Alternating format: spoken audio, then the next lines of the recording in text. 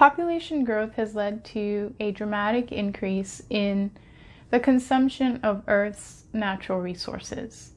The material affluence of millions of people has increased across the globe since the Industrial Revolution, but in the pro- process of this progress, we have consumed an increasing amount of limited resources. And one way to quantify resource consumption is to use the concept of the ecological footprint.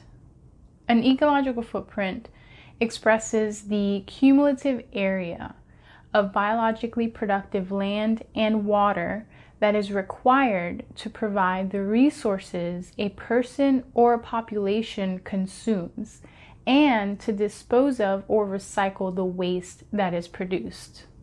The Global Footprint Network estimates that humanity as a whole is using 64% more of the planet's renewable resources, meaning we are depleting renewable resources by using them 64% faster than they are being replenished. This is called an overshoot because we are surpassing Earth's capacity to sustainably support us. One way to understand this figure is to think about balancing your bank account. If you have a daily salary of $100, but you spend $164 every day, you will very quickly start cutting into your savings. And very soon you'll be in the negative because you are making less than you are spending. So, this is precisely our problem. We are spending Earth's resources faster than Earth can regenerate them. One of the biggest challenges in environmental science is sustainability, which is a way of living so that the Earth's resources can sustain us well into the future.